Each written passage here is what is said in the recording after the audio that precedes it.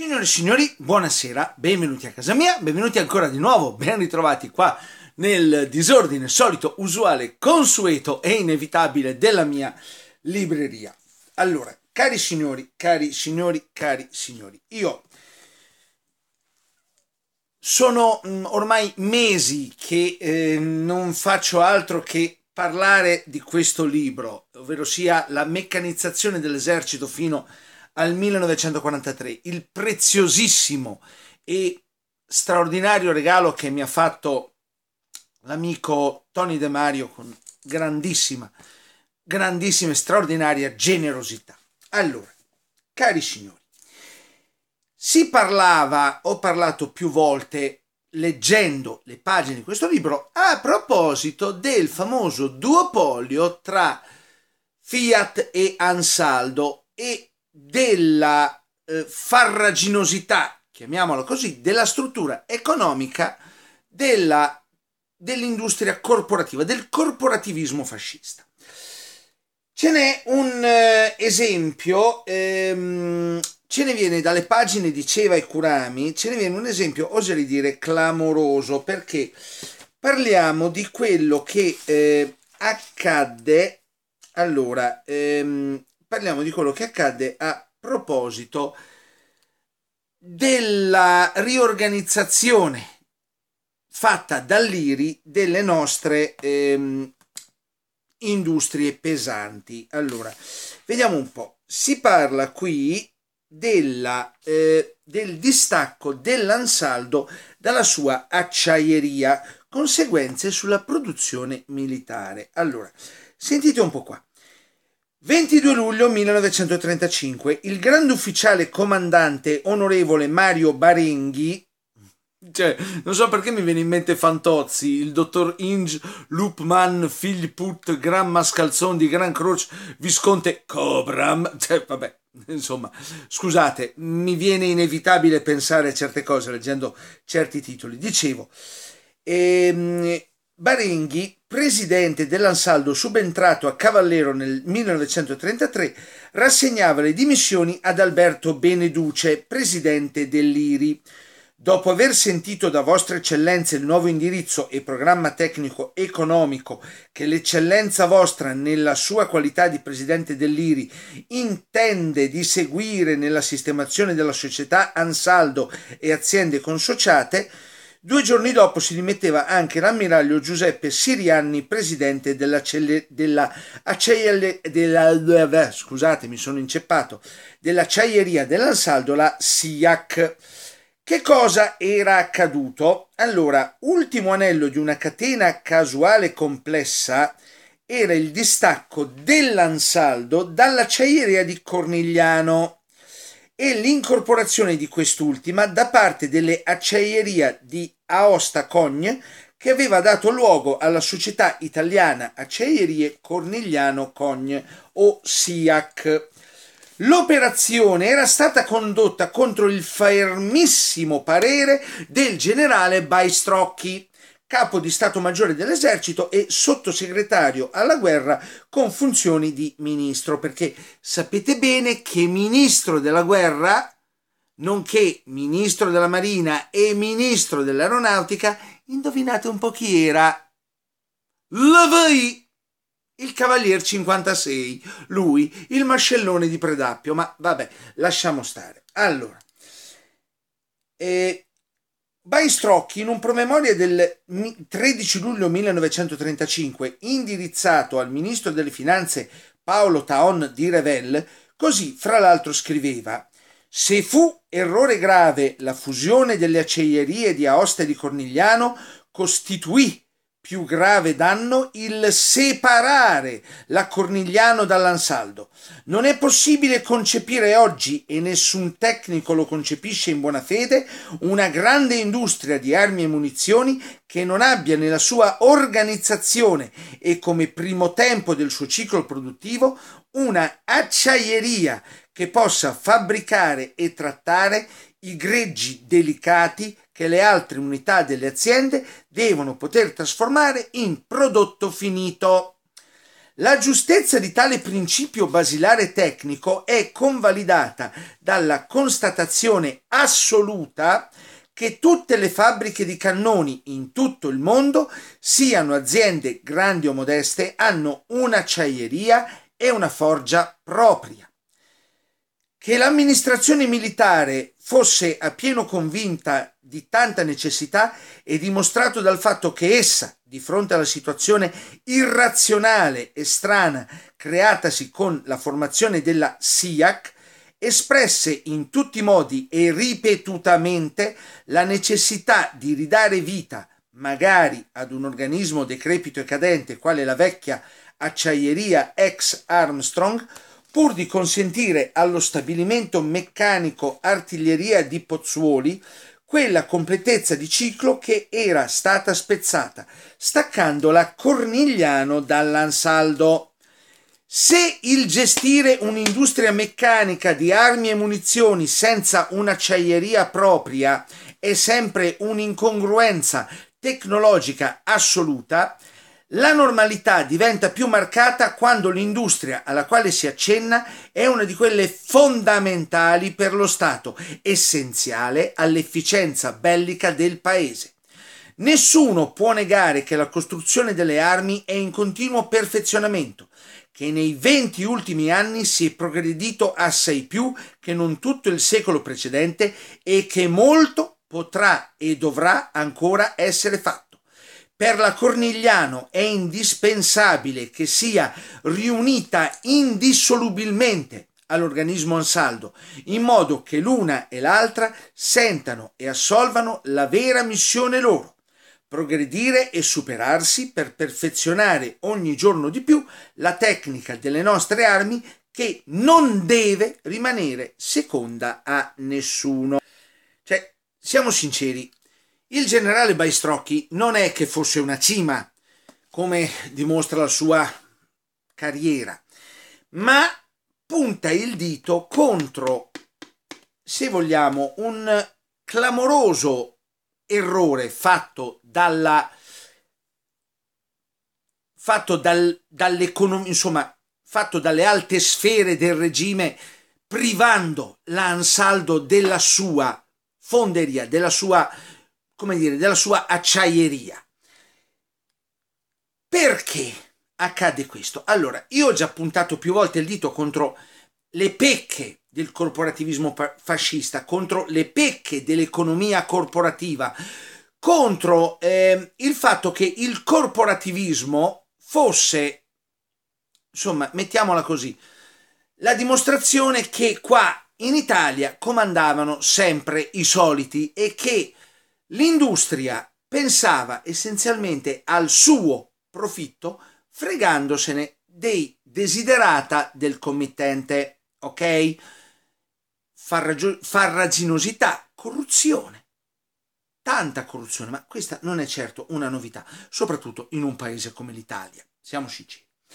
Allora, ricordiamoci una cosa, continuano Ceve Curami dopo le giuste lamentele di Baistrocchi, Ceve Curami ci parlano che proprio in quello stesso periodo di tempo varie industrie riconoscevano l'opportunità di creare o di rafforzare nel loro ambito il sistema verticale che era stato a suo tempo massima aspirazione dei Perrone, i vecchi proprietari dell'Ansaldo.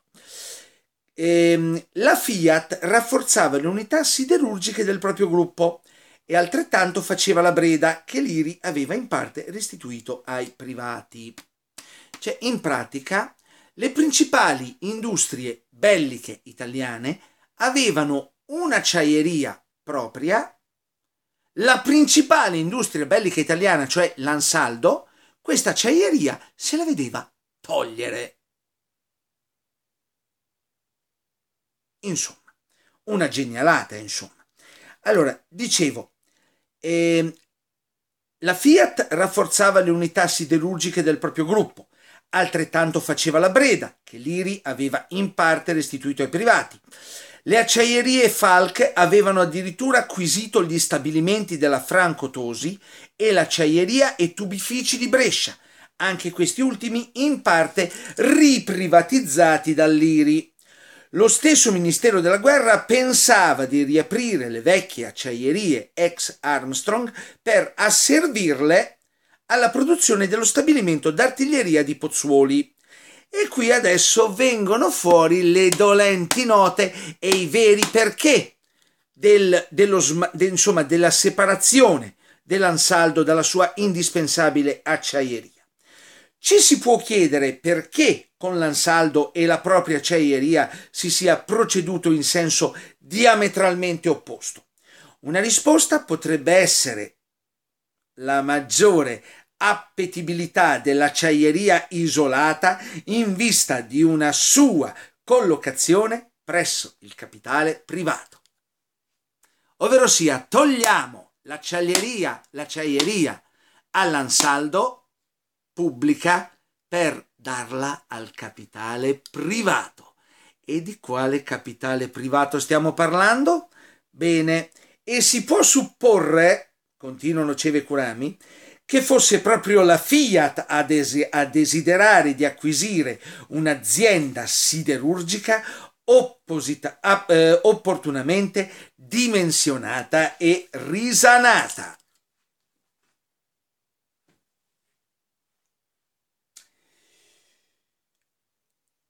Perché sto guardando la sciarpa dell'Inter? Mm, vabbè, mm, vabbè, vabbè, vabbè, vabbè, scusate, eh. Va bene. Allora, dicevo, dicevo, la cosa non meraviglierebbe se pensiamo al successivo tentativo della Fiat 1941 di acquisire l'acciaieria di Cornigliano nel corso di vicende lontane dal nostro tema e che perciò sono qui appena accennate. Nello stesso senso converge il successivo e provato tentativo della Fiat di acquisire la Cogne nel 1942. Ma a parte tutto questo non spiegherebbe al 100% l'incorporazione nel 1934 dell'acciaieria di Cornigliano nella Cogne, durata poi meno di un anno. Ci addentreremo davvero nel campo delle supposizioni, anche perché una volta notato che molto probabilmente la Fiat ebbe fin dall'inizio nel duopolio carristico, con l'Ansaldo, un peso assai superiore al suo specifico apporto, Altre illazioni, oltre che probabilmente inutili, rischiano di perdersi nel quadro di estrema incertezza che caratterizza alcuni settori industriali del 34-35.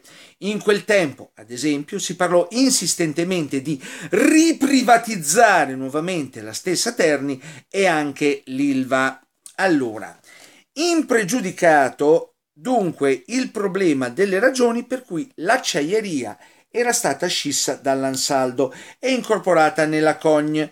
Troviamo riflesse nei documenti molte circostanze di tale vicenda ed alcune sue conseguenze afferenti proprio i mezzi bellici oggetto del nostro studio. La meccanizzazione del Regio Esercito. I pasticci della Fiat pro domo sua. Insomma, signori, che vi devo dire? Allora, allora, eh, dicevo, tali conseguenze sembrano ragionevolmente addebitabili, almeno in parte, anche a fatti anteriori all'operazione. Questa, come già detto, doveva poi durare un anno solo per ciò che riguarda la fusione con la Cogne, ma fu definitiva quanto al distacco giuridico dall'ansaldo. A. All'origine di tutto sta probabilmente il terremoto dirigenziale scatenatosi nel 1933 nell'ambito sia dell'Ansaldo sia della sua acciaieria allora riunite per il cosiddetto scandalo delle corazze. Oh, mi avevano chiesto di parlarne e ne troviamo un accenno qui allora.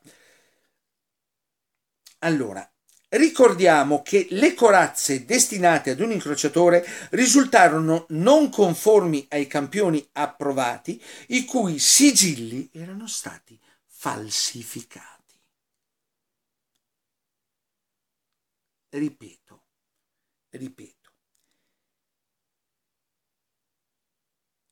Ricordiamo che le corazze destinate ad un incrociatore risultarono non conformi ai campioni approvati i cui sigilli erano stati falsificati.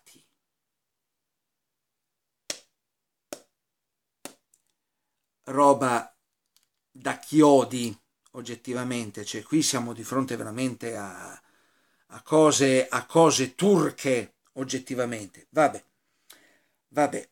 Si ebbero a più riprese licenziamenti di dirigenti e impiegati, talvolta semplici spostamenti, culminati poi quasi sempre in licenziamenti. Corsero sospetti sullo stesso presidente della società, ovvero sia il generale Ugo Cavallero. Oibo! Oibo, Oibo, Cavallero, Cavallero, Cavallero, forse l'unico uomo al mondo a essere più ladro di Badoglio, ma vabbè, diciamoci la verità. Già sottosegretario alla guerra dal 4 maggio 1925 al 24 novembre 1928. Un'inchiesta affidata al Ministero della Marina non accertò prove a carico di Cavallero, che peraltro lasciava l'ansaldo. Ma diciamoci la verità, fra ca non ci se moccica, come dicono dalle parti d'Ancona. Cane non mangia cane. Vabbè, vabbè, vabbè, vabbè, vabbè. Continuiamo. E, e provocò invece l'invio al confino di uno dei dirigenti che Cavallero stesso aveva precedentemente licenziato nei giorni in cui la vicenda era affiorata. Allora, i licenziamenti riguardavano anche personaggi di primo piano, come ad esempio il direttore dello stabilimento di artiglieria, il direttore delle acciaierie e fonderie di acciaio, quello poi confinato, nonché vari tecnici appunto delle acciaierie. Era sempre nel 1933 subentrato a Cavallero il nuovo presidente comandante onorevole Mario Barenghi il barone Duca Conte Serbelloni Mazzanti Vendalmare l'abbiamo lasciato un'altra parte, vabbè, lasciamo stare. Allora, che aveva il compito di liquidare il passato per riportare l'ambiente alla normalità, come scriverà il suo successore Agostino Rocca del luglio 1936. L'esodo di personale qualificato, dirigenziale e tecnico sarebbe stato forse meno rilevante se l'ansaldo nel 1927, oltre un anno prima della gestione Cavallero, non avesse avviato rapporti di esclusiva collaborazione con la Krupp proprio nel campo delle corazze e dei proiettili perforanti.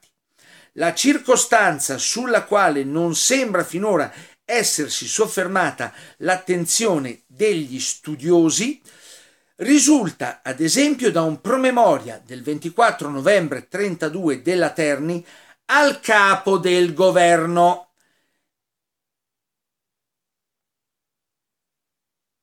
Mussolini, l'uomo che sapeva tutto. Allora, alle probabili conseguenze di un primo rarefarsi del, per- del personale dirigenziale e tecnico che applicava da anni i procedimenti Krupp, oggi si parlerebbe di know-how, di tecnica, bisogna poi sommare il trauma della fusione con la Cogne.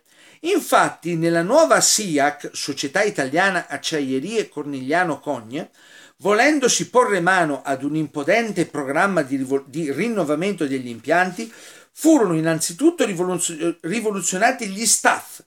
Venne costituita una nuova direzione impianti affidata a quadri provenienti da svariate ditte, come fra l'altro Falk, Terni, la Ceretti, la Ceretti scusate, di Villadossola.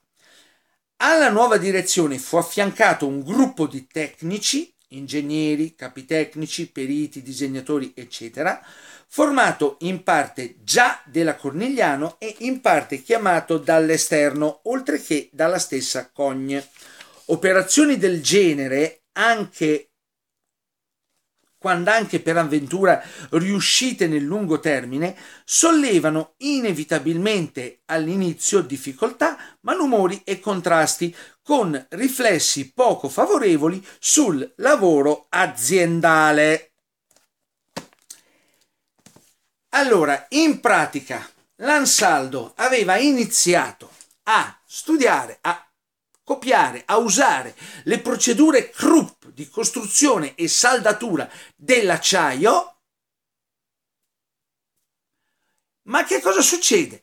L'acciaieria dell'Ansaldo viene scorporata dall'Ansaldo, cioè l'acciaieria interna dell'Ansaldo viene scorporata dall'Ansaldo, assorbita dalla Cogne e che cosa succede? Succede che tutte le competenze relative ai processi Krupp di fonderia e di saldatura vengono allegramente e simpaticamente buttate nello sciacquone del cesso. Eh.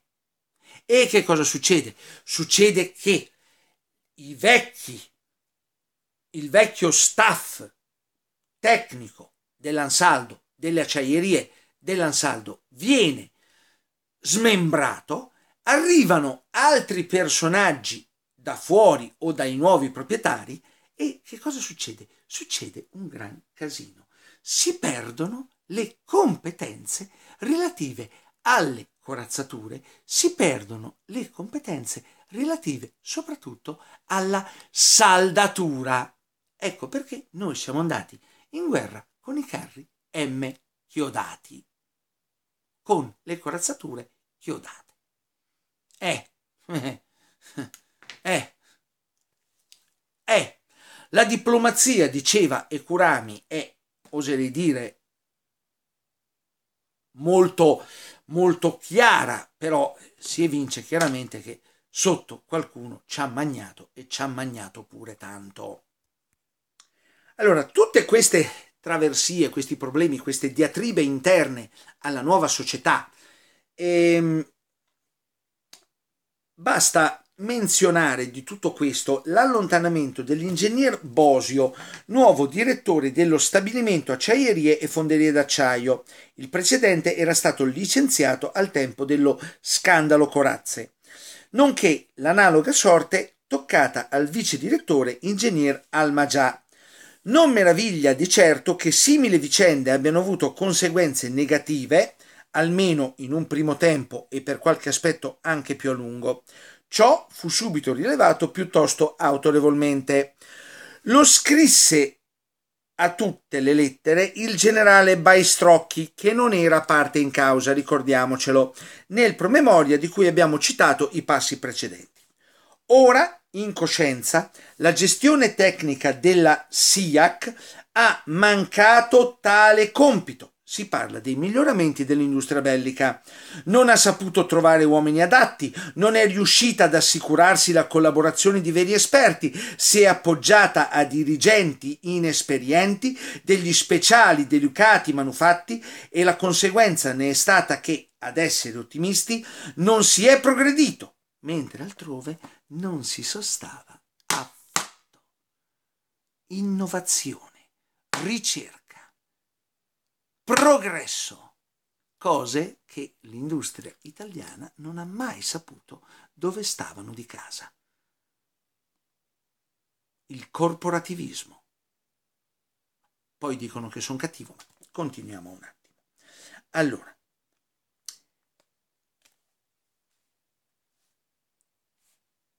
I risultati della gestione SIAC ad Aosta e Cornigliano sono stati indubbiamente poco felici. Tutti lo ripetono, tutti ne sono convinti. I fatti lo dimostrano. La qualità del prodotto non si è avvantaggiata.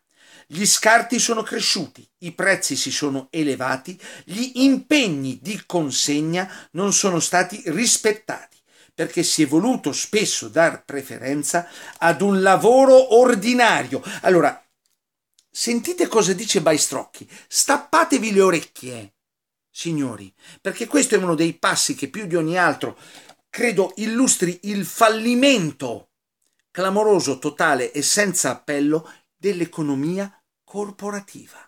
Ok? Sentite un po'. Dicevo, i risultati della gestione SIAC ad Aosta e Cornigliano sono stati indubbiamente poco felici. Ripeto ancora, tutti lo ripetono, tutti ne sono convinti, i fatti lo dimostrano. la qualità del prodotto non si è avvantaggiata, gli scarti sono cresciuti, i prezzi si sono elevati, gli impegni di consegna non sono stati rispettati. Perché? E qui salta fuori il guaio grosso perché si è voluto spesso dar, preferen- dar preferenza ad un lavoro ordinario commercialmente più remunerativo, posponendo il lavoro di qualità perché meno redditizio, presentante più alea, richiedente una meticolosa e cosciente applicazione. In pratica si faceva le cose alla cazzo di cane perché costavano di meno e garantivano migliori profitti.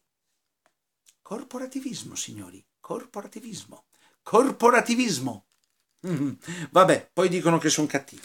A conclusioni analoghe, più, det- più dettagliatamente esposte, perveniva chi era parte in causa, cioè il presidente dell'Ansaldo, onorevole Barenghi, questi, il 5 luglio del 35, indirizzandosi al generale Dall'Olio, presidente del Comitato Mobilitazione Civile, scriveva fra l'altro i nuovi dirigenti della, delle acciaierie, senza alcuna esperienza in acciai di qualità, senza esperienza in corazze, in cannoni, eccetera, ogni giorno sono sollecitati a nuove modifiche, la cui leggerezza impressiona e tiene i tecnici responsabili delle fabbricazioni in un continuo allarme. Si voleva fabbricare le corazze cementate della Littorio caricando il rottame di cromo nickel esistente sui piazzali e si desistette da questo colossale errore solamente dopo energiche reazioni dei tecnici. Cioè, avete capito quello che scrivono Ceva e Curami, quello riportato da Ceva e Curami, cioè quello che scrive il presidente dell'Ansaldo, cioè praticamente i dirigenti, i nuovi dirigenti delle acciaierie di questa cosa, delle ex acciaierie Ansaldo incorporate nella Cogne, ok? Praticamente si voleva fabbricare le corazze cementate del littorio caricando il rottame di cromo nickel esistente sui piazzali e si desistette da questo colossale errore solamente dopo energiche reazioni dei tecnici. Cioè, cioè è spaventosa questa cosa, ma vi rendete conto? Se si pensa che il cantiere navale Ansaldo attende la corazzatura del littorio e che non è costruito ancora uno dei forni necessari per la fabbricazione di dette corazze, si avrà idea della leggerezza con la quale i nuovi dirigenti conducono le cose. Allora, lamentava Barenghi Inoltre, cioè già come se non fosse sufficientemente agghiacciante questo, questo memorandum di Barenghi, si lamentava anche che si erano messi in discussione processi di fabbricazione che costarono milioni e che sono il frutto del lavoro di anni e in particolare quanto ci è stato insegnato da Krupp, col risultato che le lamiere ad elevata resistenza per lo scafo della, Littoria, della Littorio si sono dovute fabbricare quattro volte e che, tenetevi forte, la lavorazione della, delle lamiere scudo per i CV33 eseguita bene nel 1934, nel 1935 ha dato risultato inferiore tanto da costringere a modificare il metodo di costruzione dei carri. Cioè, in pratica, signori, competenze, capacità, sistemi che erano, insomma, ricerche su sistemi produttivi durate anni e costate milioni di lire, buttate nel cesso alla cazzo di cane perché faceva comodo a qualcuno scorporare l'acciaieria dell'Ansaldo dalla Ansaldo stessa cedendola ad, un, ad un'altra industria che guarda caso, che guarda caso, era nelle mire di mamma Fiat. Scusate, ma io quando nomino la Fiat devo, come si suol dire, ehm, abbiate pazienza, cioè è più forte di me. Scusate, insomma, insomma. Ceva e Kurami con molta chiarezza, cioè spiegano chiaramente il disastro combinato all'ansaldo dall'IRI, ovvero sia privare l'ansaldo della sua fonderia, incorporare la fonderia dell'ansaldo con la cogne e combinare un disastro perché tutti gli studi sulle saldature degli acciai, sulle corazzature, eccetera, eccetera, eccetera, tutto buttato malamente nel cesso tirando la catena. Perché? Perché qualcuno aveva voglia di farsi un'acciaieria propria spendendo poco. Siamo sotto Pasqua, siamo sotto Pasqua L'agnello è tradizione, vabbè, non mi fate essere cattivo. Insomma, cari signori, l'analisi diceva e Kurami e i documenti che riportano parlano estremamente chiaro. La cialtroneria con cui fu affrontata la ristrutturazione dell'ansaldo è a dir poco criminale.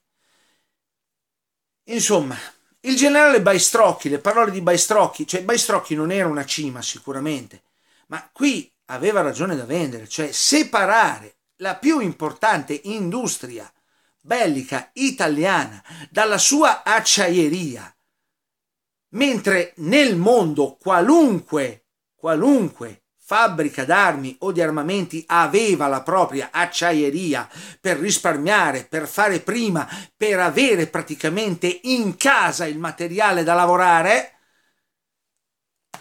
tutto ripeto e sottolineo, tutto buttato nel cesso per un'alzata d'ingegno che doveva favorire una squadra che a noi, una, la proprietà, la ditta che è proprietaria, tra le altre cose, di una certa squadra scolorita che a noi tifosi della Beneamata sta decisamente poco simpatica. Va bene, signori, sono un idiota a fare questi esempi qui, ma lo so, è più forte di me, mm, cioè, non posso fare altro che pensare di questo, cioè, signori, economia corporativa, lo Stato imprenditore, lo Stato che, eh, come dire, eh, eh, piegava l'industria privata ai, agli interessi superiori della nazione, il fallimento, lo spaventoso, clamoroso e grottesco fallimento dell'economia corporativa. Un altro dei tanti esempi. Tutto qua. Beh, allora, sia chiara una cosa. Allora, io non sono un economista, uno. Di economia e commercio ne so decisamente poco, di finanza ne so ancora meno, di processi industriali ne so poco o nulla. Ho solo una cosa, i miei libri, l'abitudine a leggere i libri, l'abitudine a ragionare su quello che leggo sui libri. Ok? E in base alle mie limitatissime conoscenze e in base, come dire, anche ai miei ragionamenti, il, la catastrofe, la catastrofe della produzione industriale bellica italiana è tutta in questo episodio magistralmente descritto da Ceva e Kurami in, questo, in questa pubblicazione che come sempre vi invito caldamente a procurarvi e a rileggere con estrema attenzione. Quindi, cari signori, come sempre io attendo le vostre eh, considerazioni, i vostri commenti. Fatemi sapere se ho detto cavolate, fatemi sapere se ne sapete qualche cosa più di me, sono curioso di sapere, sono qui anche per imparare. Aspetto, come sempre, ripeto, commenti e considerazioni da parte vostra. E di nuovo, un'altra volta ancora, arrivederci al mio prossimo video e soprattutto ciao!